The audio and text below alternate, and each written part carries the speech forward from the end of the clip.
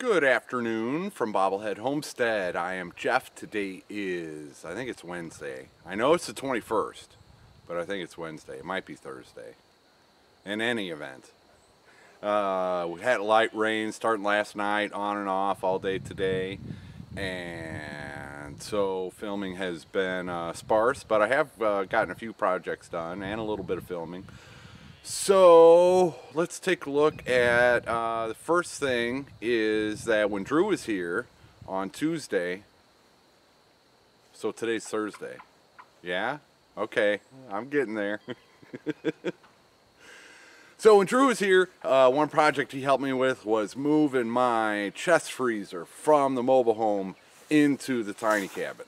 So that was a huge step in the in the uh, progress of getting my inside of my cabin finished. So let's take a look at my chest freezer.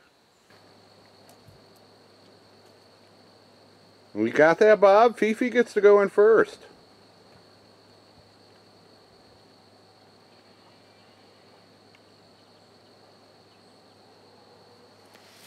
Alright, come on, kiddos.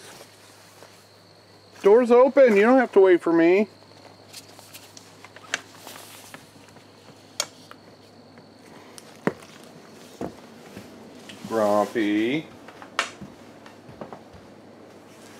Hey, Bob. You've been getting up there a lot more often. Uh-oh. Fifi's about ready. Yeah, there she goes. Don't let me stop you, Fifi. Oh, I guess not. She, Fifi took that over the other day. Anyway. yes. Uh, Drew helped me bring in my chest freezer. And it's there on the back of the wall. And yes, hi Fifi. There is enough room for the door to open. I measured that when Prepstetter Bob was here. there she is. That's where she slept last night. It was raining. Fifi was all curled up. You gonna do that again tonight, Fifi? We're supposed to get some thunderstorms tonight, so. Alright, so yes, I have a chest freezer in my quote-unquote living room, and that's okay with me. That's not, uh, not a big deal to me. I am more interested in function than what stuff looks like. And who knows, if I ever get a front porch or, you know, it might not stay there forever. I might find another place for the chest freezer. But for right now, that's the place that makes the most sense for it. Um, when the mobile home goes, I'll lose, well, I might lose electricity in the mobile home. Um, before then, what are you doing, Bob? So, uh, yeah, that's, that's as good a place as any. Bob, just because I'm talking doesn't mean you get to come over here and bug me. Another project, I'm here by the back door, but another project, those are my snacks. Those are, I blame Drew for those. Um, another project I put together, this shelf, which uh, is exactly like the shelf that was there, except I moved that shelf over there for right now. And I'll probably put that shelf in the hallway eventually, but for right now, that is where it's going. I uh, kind of had to move it out of the way to make room to get the chest freezer in here. So yeah, I just put that little rolling shelf over there. It'll probably end up in the in the hallway and then I can put another chair or who knows what I'll do. And yes, I'm still organizing and finding places for everything. And the last project I worked on while it was raining or dark or both, uh, I got my coat rack up. This was gifted to me and the tiny house that love built. And the tiny house that love filled with stuff. including a lot of these jackets and and uh, long sleeve shirts. But yeah, it is the it is the season, and I find myself grabbing, you know, like today was the raincoat, and then uh, you know, grabbing whatever long sleeve thing I I need, and that is the perfect place right here by the back door. So thank you once again for the coat rack, and it is up and put in use. Yeah, Drew made me that sticker a long time ago. It was kind of a first draft on my t-shirt design. And I stuck it on the on the chest freezer now. Well, now I got a place for more stickers, and I've got a bunch of stickers that I planned on putting on here.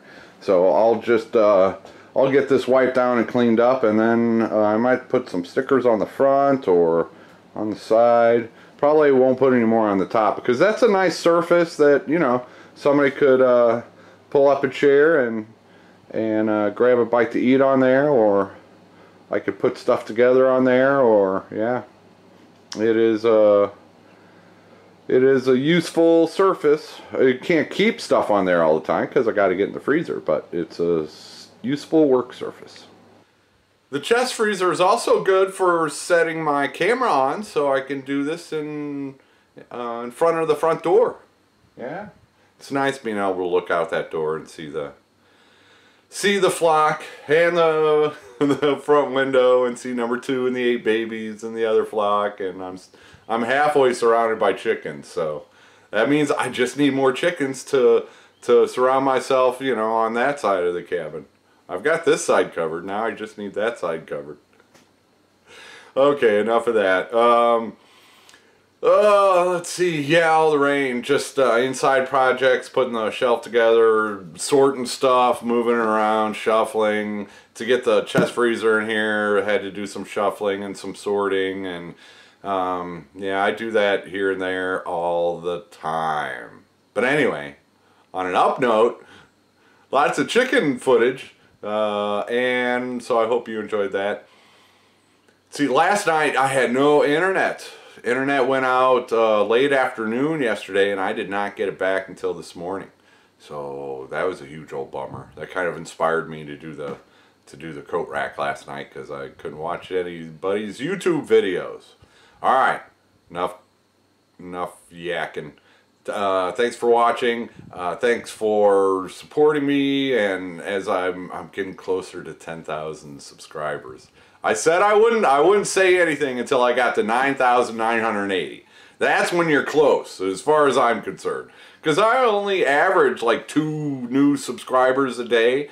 So, you know, when I was at 9,800, well, that's 100 days if you, you know, to get 200 subscribers. So you never know, and it's not, it's not a huge deal to me. One thing that I, I'm looking more forward to is hitting 2 million views and I was at 1,995,000 uh, this morning. So I'm 5,000 views away from 2 million views. And to me, that's a, you know that's a bigger milestone for me than than the number of subscribers. So uh, hopefully that'll happen this month. Both of them will happen this month. That would be cool. I didn't think I'd get to 10,000 this year, but I had a little spurt the past couple weeks, so thank you to whoever's new. Thanks for coming in and watching. And uh, now I really will stop yakking away. So thanks for watching, and take her easy, everybody. I have just placed 24 eggs into my incubator with the automatic turner. 24 eggs, 9 of those are blue from my Whiting True Blues. Those will be purebred. And then that makes 15 of those are brown with a Whiting True Blue father. So those will be green or olive eggers. And I'm not counting any of these before they hatch. this is not uh, the best conditions in which to hatch. I'm doing this in a mobile home where the temperatures fluctuate, especially here in the fall. So I'll, I'll we'll see. We'll see if anything uh, um, if I get any chicks out of this. I hope I do. We'll see.